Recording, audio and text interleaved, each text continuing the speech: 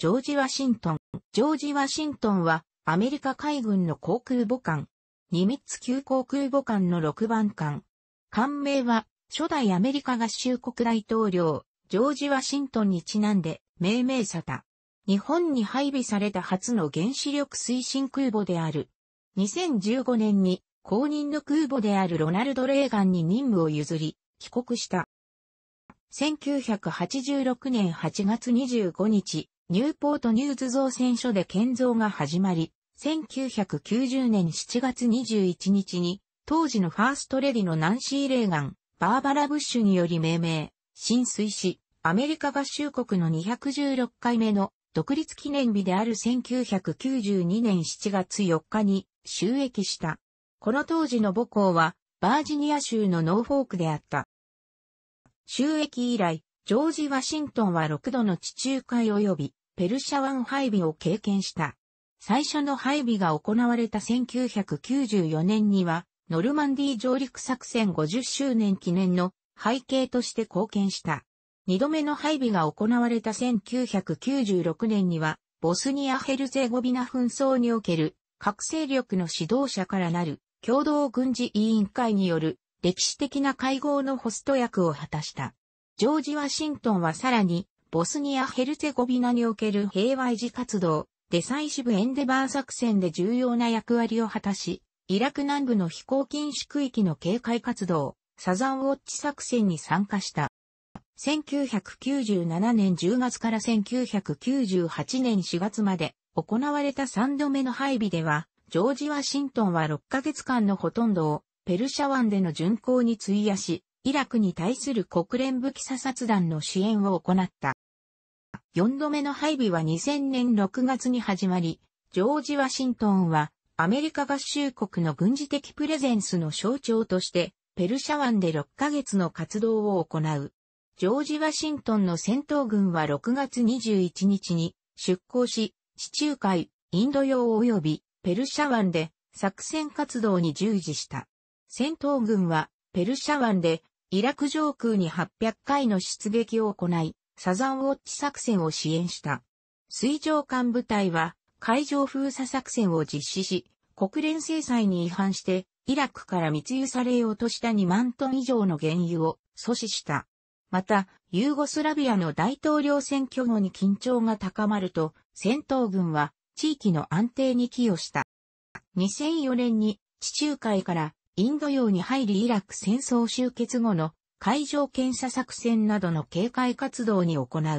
4月18日第131戦闘攻撃飛行隊の会 A-18C がイラク北部のキルクークに潜伏するテロリストに対する密爆撃と機銃掃射攻撃を実施した。これはイラク戦争終結以降空母による最大の攻撃作戦でもあった。本土に帰還後、2004年11月には、海 A-18E 海の初めての初着艦テストを実施した。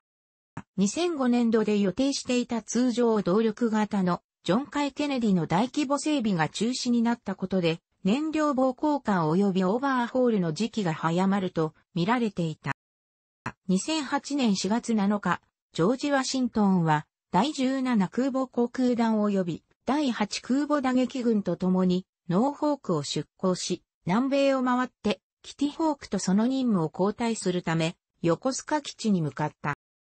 この巡航中、ジョージ・ワシントンの戦闘集団は、アメリカ南方軍による同盟諸国との演習に参加した。アメリカ海軍は、ブラジル海軍及びアルゼンチン海軍との共同作戦を実施した。4月22日、ブラジルのリオデジャネイロを初めて訪問した。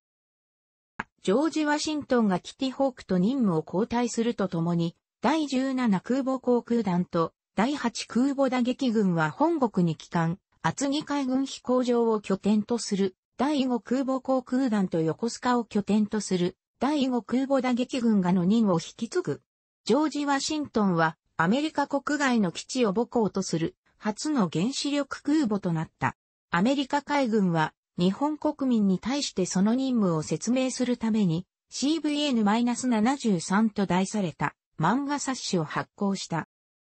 2008年5月22日の午前8時前、中南米を航行中に、エアコンや冷蔵施設、予備ボイラー室がある船尾の一角で火災が発生。1名が、火傷を負い23名が長時間の消火作業により、熱中症となった。原子炉の安全性には問題はなく、数時間後に乗組員によって鎮火された。ジョージ・ワシントンは5月27日にサンディエゴに入港。火災による損害の評価が行われた。原因は適切な管理がなされていなかった油脂類にタバコの火が引火したものであり、ケーブル類に炎症したため鎮火に手間取ったとされている。7月30日には、この火災の監督責任を問い、艦長であった大古夫大佐が更迭された。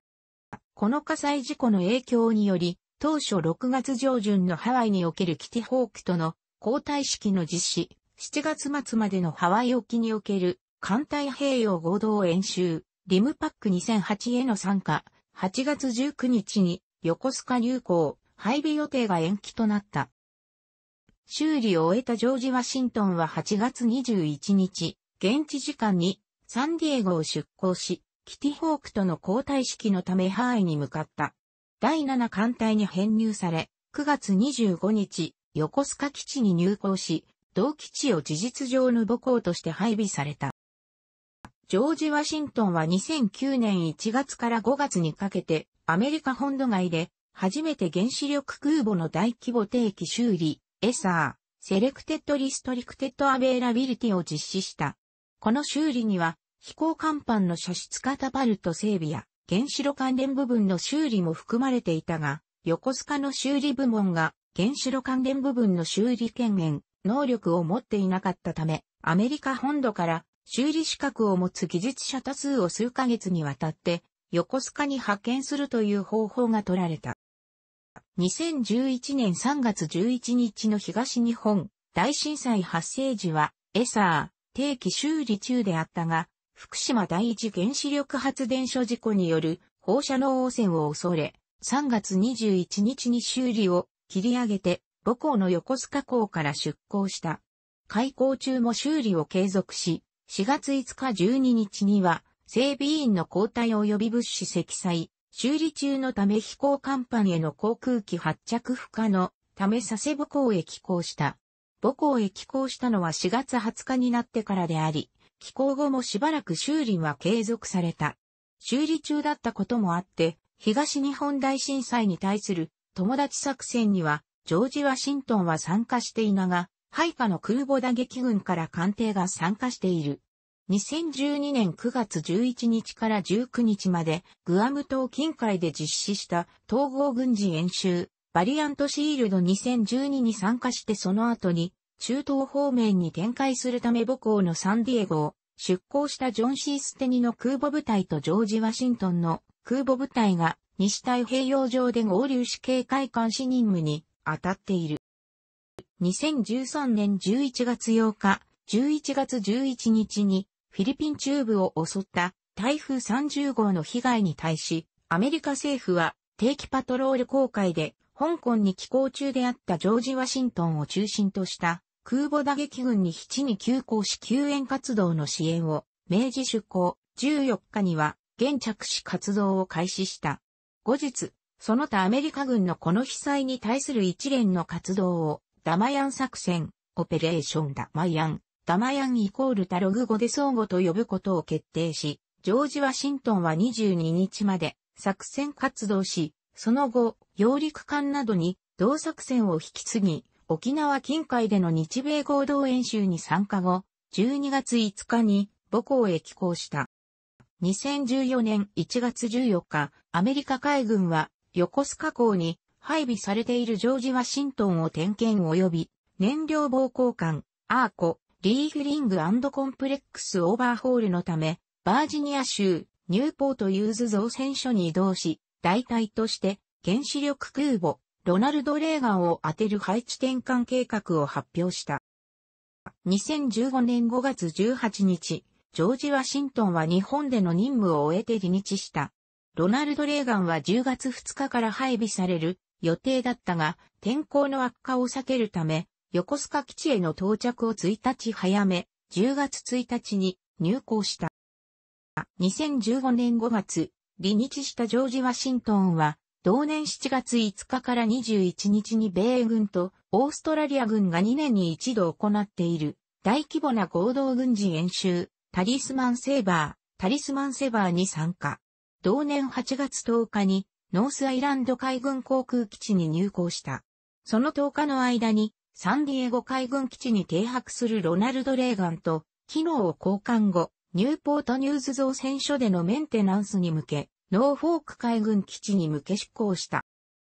2016年10月、ハリケーン、マシューの被害を受けたハイチに、マーシー級病院船、コンフォートとサンアントニオ級ドック型輸送揚陸艦、メサベルデと共に災害派遣された。活動を終えた本艦は12月21日にノーフォークに寄港した。2017年1月、同年8月4日から48ヶ月にわたる大規模修理と燃料棒交換が開始されると発表された。2017年9月、米海軍とハンティントン・インガルス・インダストリーズは、アセス、ジョージ・ワシントンの大規模なアップグレードと技術調整を開始した。また同日に明かされた大規模修理と燃料棒交換とオーバーホールを伴う近代化改修の概要によると、近代化の内容は、館内ネットワークであるケインズの近代化、マストと SPS-49 レーダータワーを切り離しの新型の設計のものへの置き換え、ラム及び SM 25mm 機関砲、対魚雷防御、SSTD の装備、回 -35C への対応などである。またレーザースキャナを使って船体をスキャンし、レーザースキャンされた画像を使用してオーバーレイし、どのパーツを切り取る必要があるかを判断したことで1億ドルの節約が可能になった。楽しくご覧になりましたら、購読と良いです。クリックしてください。